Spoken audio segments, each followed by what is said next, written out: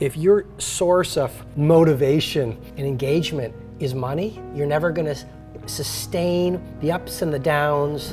One of the things I think that keeps people from those things, from being able to get that mindset, from being able to get that neurochemical change in the brain and being able to feel that is confidence. What kind of consciousness do we have to go through the steps to literally change our way of thinking. It requires getting at the roots of things. It requires how you think every single day about simple, basic things in, in your life, right? You know, and so it, it is pretty clear too, over the last century, on average, IQ levels have gone up.